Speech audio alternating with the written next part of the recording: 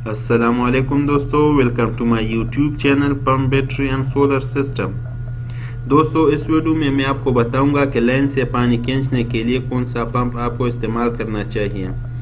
तो जितने भी मैं देखता हूँ, ज़्यादातर लोगों को ये मसाइल आते हैं कि लाइन से पानी खींचने के लिए हम कौन सा पंप इस्तेमाल करें। तो इन मसाइल को देखते हुए मैंने ये ज़रूरी समझा कि इस पर क्यों ना एक वीडियो बनाई जाए।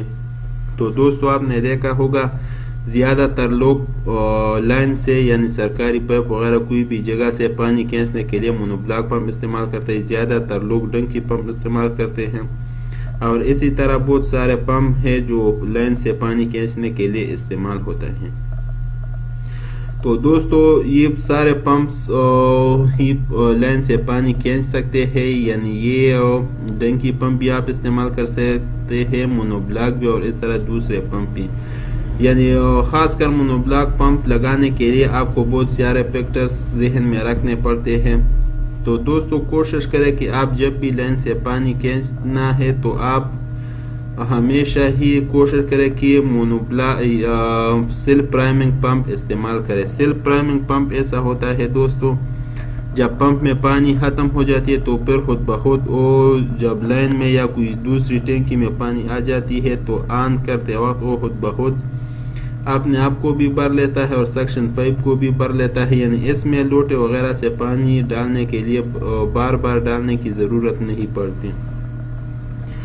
तो दोस्तों, आज मैं आपको बताता हूँ कि आपको कौन सा पंप लाइन से पानी खींचने के लिए इस्तेमाल करना चाहिए। दोस्तों, ये एक पंप है जिसको प्रेशर पंप भी कहते हैं, या ज़्यादातर लोग इसको बूस्टर पंप भी कहते हैं। दोस्तों, ये एक सेल्फ प्राइमिंग पंप है। पानी लाइन से पानी खींचने के लिए ये एक बेहतरीन ऑप्शन है।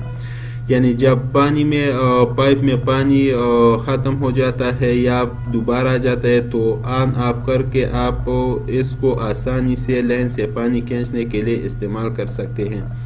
यानी जो लोग डंकी पंप इस्तेमाल करते हैं, दोस्तों तो आपको पता है कि डंकी पंप शोर भी बहुत ज़्यादा करता है, डिस्चार्ज भी उसका कम होता है।